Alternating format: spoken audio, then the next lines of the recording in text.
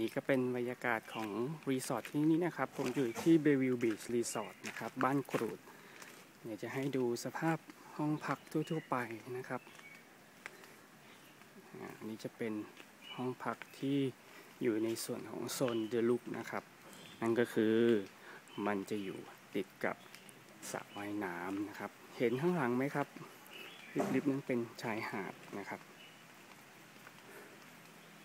รีสอร์ทที่นี่ไม่มีถนนกั้นระหว่างตัวรีสอร์ทกับทะเลเลยนะครับ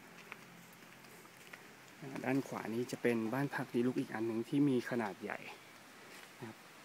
หลังนี้น่าพักมากครับ ห้องโถงตรงกลางกว้างมาก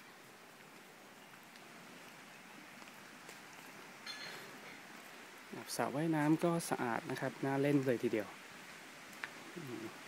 เห็นทะเลกันแล้วไหมครับทะเลอยู่ข้างหน้านี่เอง ได้ยินเสียงคลื่นไหมครับ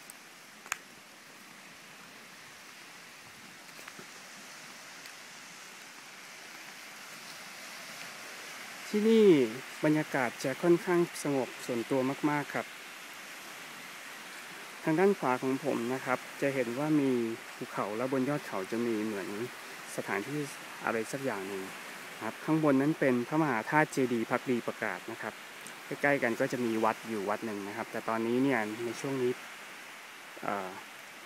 ทางวัดทำการปรับปรุงอยู่นะครับบรรยากาศสงบมาก ๆ ครับ ค่อนข้างเป็นหาดส่วนตัวเลยทีเดียว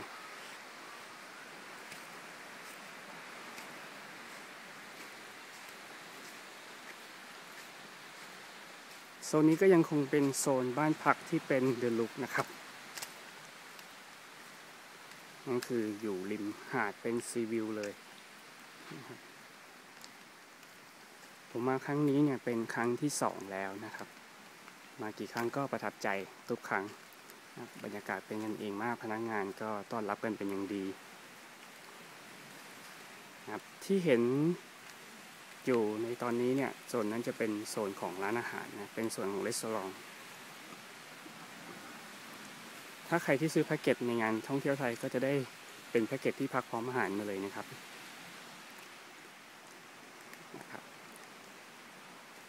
สนใจก็ลองเสิร์ชหาข้อมูลใน Google ดูนะครับ Bayview Beach Resort บ้านกรูดประจวบคีรีขันธ์